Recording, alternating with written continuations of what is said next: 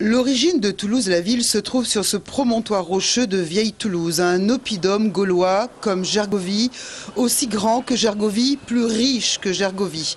Il vient de livrer ses derniers secrets, mille objets parfois très rares y ont été découverts par les archéologues de l'INRAP, Institut national de recherche archéologique et préventive. On se rend compte qu'en réalité on a deux sites importants à Toulouse. On a la ville qui est sur l'oppidum de Vieille Toulouse et on a un site secondaire en plaine qui est un site à vocation commerciale, qui en gros se trouve au niveau de la caserne Niel, où hein, les marchandises venant de Rome, venant de Narbonne, étaient entreposées, déposées et redistribuées ensuite sur les grands sites. Et le mystère des milliers d'amphores vides retrouvés à la caserne Niel a été résolu.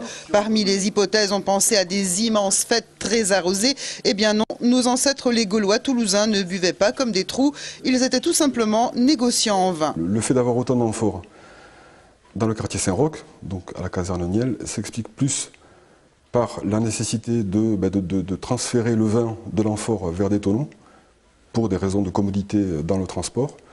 Et nos ancêtres les Gaulois avaient également des clés, celles-ci ont 2100 ans.